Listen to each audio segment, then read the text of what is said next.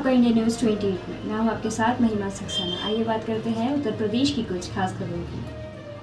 उत्तर प्रदेश के एटा में युवती को भगा ले जाने के मामले में 38 वर्षों से दिल्ली में छुपकर रहा एनबीडब्ल्यू वारंट शुदा। अभियुक्त छड़ा कोतवाली नगर पुलिस के हत्या, भेजा जेल।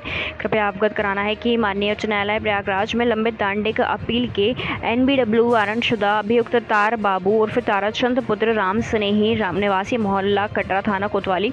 नगर एटा जो थाना कोतवाली नगर पर पंजीकृत उनचास बटे उन्नीस धारा तीन भारतीय दंड विधान में करीब अड़तीस सालों से फरार चल रहा था। को थाना कोतवाली नगर पुलिस द्वारा दिनांक 4 अप्रैल 2022 को गोविंदपुरी, थाना गोविंदपुरी, नई दिल्ली स्थित उसके मकान से समय करीब एक बज के बीस मिनट बजे गिरफ़्तार किया गया है। ज्ञातव्य है कि अभियुक्त द्वारा वर्ष उन्नीस सौ बयासी में एक युवती को बहला फुसला कर ले जाने की घटना को अंजाम दिया गया था, जिसमें स्थानीय पुलिस द्वारा घटना के कुछ समय बाद ही अपहृता को सकुशल बरामद कर उसके परिजनों के सुपुर्द कर अभियुक्त को गिरफ़्तार कर जेल भेजा गया था। गिरफ़्तार अभियुक्त तारा चंद बाबू तार बाबू पुत्र राम स्नेही निवासी मोहल्ला कटरा थाना कोतवाली नगर एटा गिरफ़्तार करने वाली टीम उप निरीक्षक विजय सिंह चौकी प्रभारी पटियाली गेट आरक्षी अनिल कुमार आरक्षी नीरज कुमार। एटा संवाददाता हरिकेश बघेल की रिपोर्ट।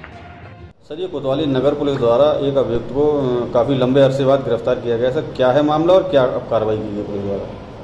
आज कोतवाली नगर पुलिस द्वारा ताराचंद दुबे को गिरफ़्तार करते हुए न्यायालय के सम्मुख प्रस्तुत किया जा रहा है यह अभियुक्त उन्नीस सौ बयासी के एक अभियोग में वांछित था, उसमें गिरफ़्तार हुआ था और वो माननीय न्यायालय से बेल प्राप्त होने के बाद ट्रायल पे उपस्थित नहीं हो पा रहा था और काफ़ी समय से दिल्ली में छुप के नहीं रह रहा था। माननीय न्यायालय द्वारा जारी एम के कंप्लायंस में आज कोतवाली नगर द्वारा